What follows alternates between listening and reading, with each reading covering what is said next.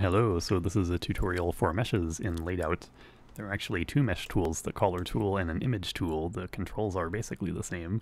So when you start with a fresh mesh, you click down and it gives you the standard default one. Uh, it's pretty straightforward. You just click and control or click and drag various controls. Uh, these corners are are points that are actually in the mesh, and these other points are, are just controls that show how uh, the mesh is structured. There's different uh, rendering modes. Uh, one is to render to sort of a preview images preview image, which is really slow, or you can sort of recurse. Uh, it's much faster to render this sort of thing. So if you have a super complicated one, uh, it goes much faster.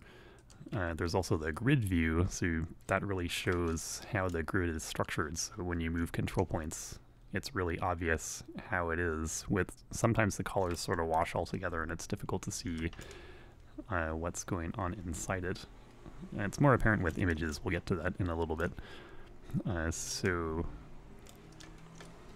with all these points, uh, let's move these so it's sort of back to normal. Uh, so when you're hovering over an edge, you can expand a mesh or when you just click with no shift or control or anything, you can move the whole edge. But if you press shift and move it, then you can expand your mesh.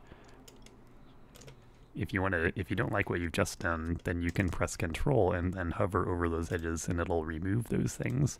Then you're back to that. Or if you want to subdivide, if you hold down shift and control, you can place that anywhere inside and then just click down and you can add new mesh segments.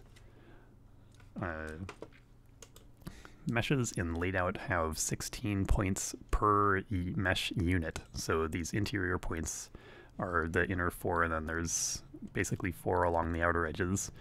Uh, in many other programs, uh, you might not see all of those. You might see just the interior ones. You can toggle between which controls are available for you to manipulate this way, uh, and any any other ones are are interpolated for you. So for instance, in Scribus and soon to be in Inkscape, you'll have this version, which is only 12 per 12 control points per mesh unit. Uh, you can also uh, manipulate only the extreme outer points and none of the interior points, and everything else is interpolated automatically for you, or rectangular or rectangular-ish, uh, with only the corner points in the grid view, it's pretty obvious what sort of grid that is. You'll notice that it is not a perspective mesh. Uh, the divisions along each edge are evenly spaced, whereas that would not be the case in a perspective grid.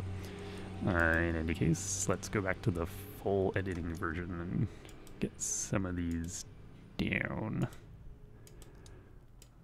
Uh, so I guess that's the color tool, and then the the image tool is very similar. Uh, so if you have all these, you have all these same points, when you double click, you can insert an image. So if I go and, and let's put that image in it. If you press Z, it'll zap down to its natural aspect ratio. Now you can select the control points as before. And with an image, it's really obvious what's actually being warped when you move around interior control points, for instance. Uh, that's pretty much it for meshes at the moment. Thank you for watching.